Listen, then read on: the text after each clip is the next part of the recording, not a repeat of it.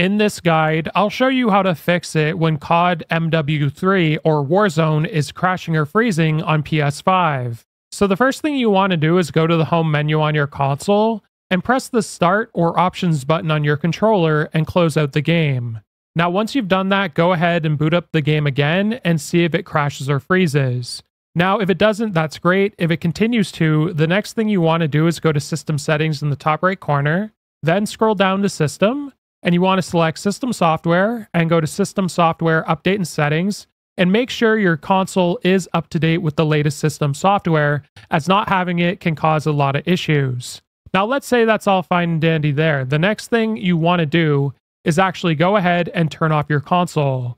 So press the PlayStation button, go to the power option, turn it off, and then you want to unplug the power cable for about two minutes before plugging it back in and booting up your console again and from there, you could boot up Call of Duty and see if it crashes or freezes. Now, you also want to ensure that your PlayStation console is in a cool, well ventilated place, as this causes crashes as well on your console. If this video was helpful, like and subscribe, and we'll see you in the next one.